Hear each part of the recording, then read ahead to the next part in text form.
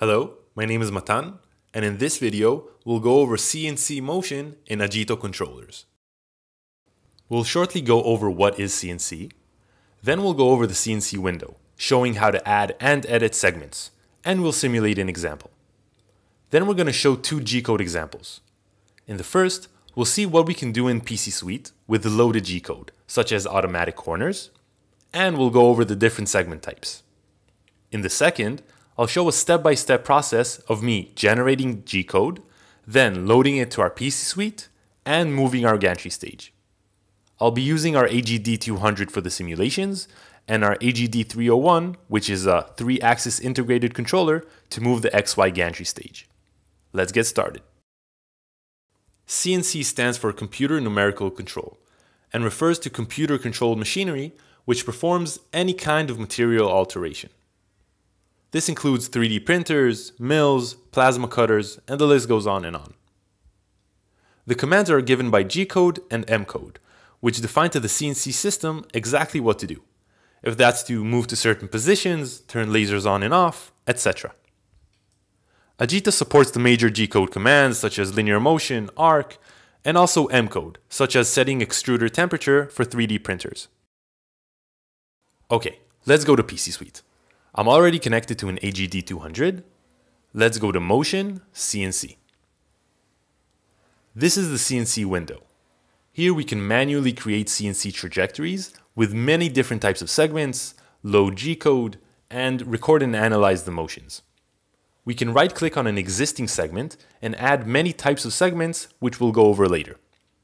Or, to edit a segment, we simply left click on it and change whatever parameter we want. For now, I'm going to load a predefined motion.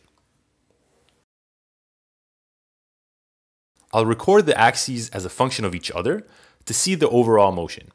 And I'll mark these checkboxes to automatically start recording when the motion starts. I put both my axes in simulation mode, so no motor will actually move for now. This is just to demonstrate how to use the CNC feature. Okay, let's click on Begin CNC.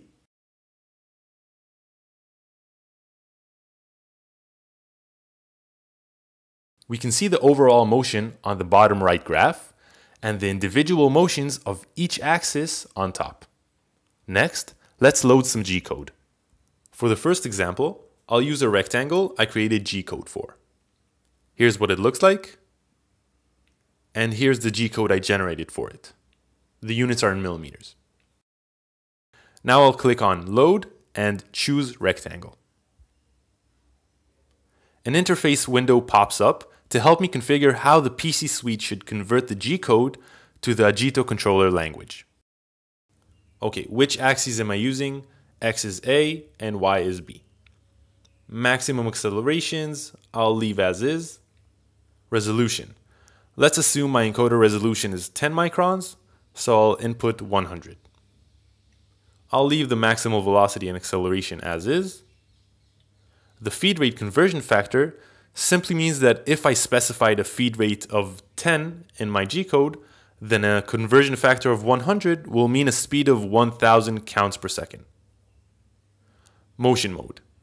I want the first linear motion to go to the starting position, so I'll choose adaptive. Automatic corners. If you wish a continuous flow with minimal stops, a sharp angle isn't desirable due to extremely high acceleration and deceleration demands. The automatic corner feature allows you to automatically round corners using these two methods.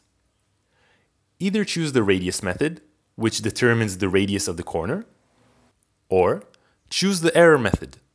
This automatically defines the radius that will deviate from the original corner by the specified amount. The acceleration limit type allows the controller to actively change the velocities in the corner so that the system doesn't exceed the maximal accelerations. The heater and special extruder are M-code commands for 3D printing, so that's irrelevant for now. And we'll create a user program later on. Click on Convert, and here are the rectangle segments. Notice how between each linear segment, we have a segment called auto corner motion. This is because of our automatic corners. We also support different methods of segment blending, allowing you to control how the different segments interact with each other, allowing for constant velocity between segments, and much more. Let's quickly go over some of the other possible segments. Wait for a certain period of time, write to discrete outputs, write to one of our user arrays and wait for a trigger. Using some of the possible segments, we're able to fully synchronize the CNC motion with any other part of the system. Let's click on Begin CNC to start the motion and record.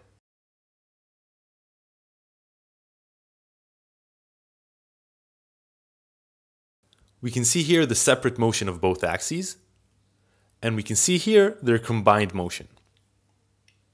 We can also create a user program of this CNC motion. To do that, we can simply click on Create User Program. Choose where we want to save it.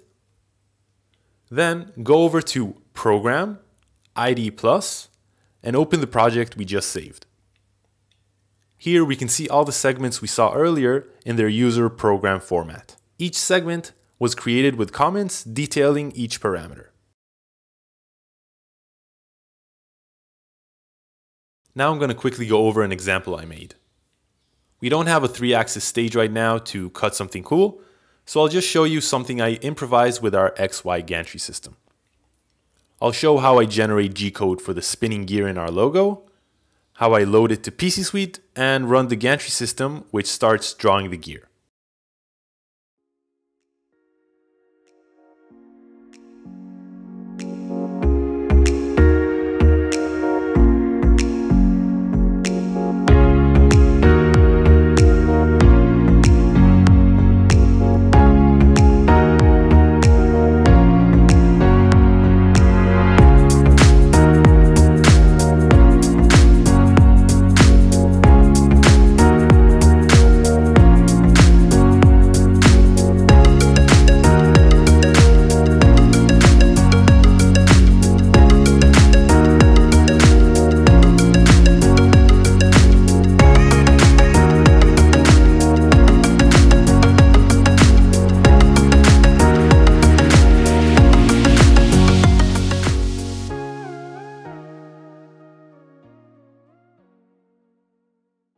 For more details on how our CNC feature is built, its syntax, how the segment blending is implemented, and details on the different segments, check out the documentation in the description below.